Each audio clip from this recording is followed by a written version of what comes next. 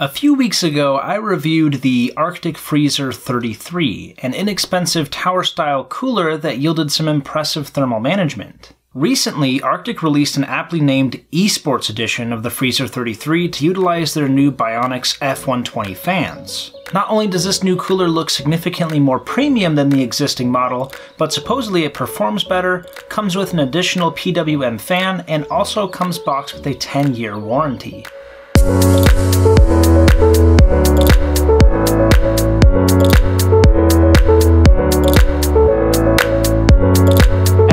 As I said the Freezer 33 budget cooler was, it definitely looks like a budget cooler. The silver fins and exposed copper heat pipes with generic looking fan wasn't really meant to impress anyone. It seems with the Esports Edition they have definitely addressed this issue. It uses the same 49 fin tower design as the existing Freezer 33, but it's been painted black, including the heat pipes.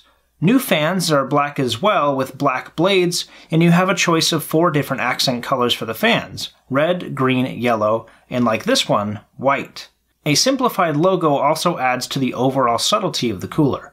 But it doesn't stop with just the appearance of the cooler. The extra cost associated with the Esports Edition also has a few added features. It has two Bionix PWM fans with an included adapter, so fans can share a single CPU fan header. Rubber padding on these fans also helps to decrease vibration noise. Each of these fans retails for $15, which means the fans make up the majority of the value of the cooler a lot of cooler manufacturers out there have dropped the ball when it comes to shipping their coolers with compatibility for AMD's new AM4 processors. That's not the case with Arctic. Almost all their coolers that I'm aware of come shipped with the ability to be used with AMD's new AMD4 processors. Not only the Esports Edition, but also the older Freezer 33 is also completely 100% compatible and we will be performing a Ryzen build using this exact cooler in the coming weeks.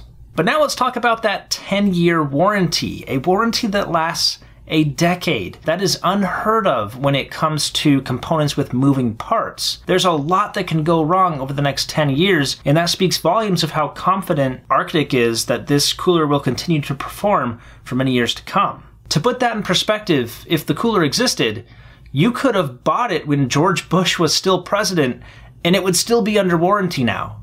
But let's talk about the most important part of this video, which is of course the performance. How does this cooler perform? To measure this, I went back to the machine that we used to do the review of the original Freezer 33. Essentially, we took an old Dell XPS system, an off-the-shelf Dell computer, and did a case swap, added an SSD and a graphics card, and then replaced the stock Intel cooler with a Freezer 33. Basically pulled, we took a bunch of measurements on the temperatures, and then for this review, I pulled that cooler out and put in the esports edition. So it's an exact apples to apples comparison. The processor in that build is a non-overclockable i7 4770. At idle, the cooler sat at a respectable 37 degrees Celsius, which was only a delta of 9 degrees over the ambient temperature. At load, the cooler managed to keep the processor at 75 degrees, which is only 47 degrees warmer than the surrounding temperatures. So after looking at the data, I realized there wasn't much of a performance difference between the two, and I realized that I may need to uh, use the new esports edition in a situation that maybe stresses the cooler. To that end, I took the cooler out and put it in a different machine.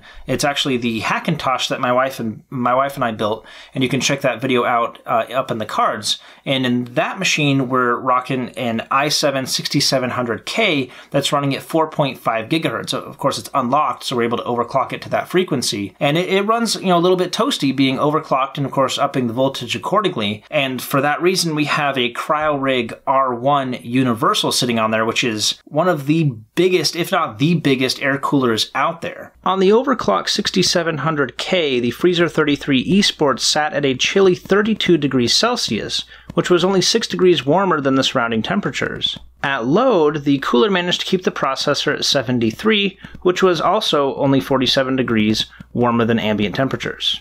Again, part of this is, of course, that the cooler is doing its job and doing it well, but it also shows how much good airflow can impact the cooling of your components. That InWin 301 sucks in air from the bottom and it goes right into the GPU. So your CPU is kind of getting that leftover hot air that kind of works its way around the GPU. So it can only really get so cold in that confined space. Whereas the uh, Enthoo Evolv Micro ATX case that we used has a giant 200 millimeter fan in the front that pushes a lot of air over the cooler and it pushes it right out the back. But how does that compare? Well, the Esports Edition performed 13% better than the standard Freezer 33. However, the CryoRig R1 performed 7% better than the Esports Edition, which we kind of expected to see. They fall in line with their associated costs, with the Freezer 33 non esports edition on one end and the massive CryoRig R1 on the other. They perform pretty much where you'd expect them to, at least in the right order. However, we notice that the esports edition performs closer to the CryoRig's performance than it does to the standard Freezer 33. The price, however, tells a different story.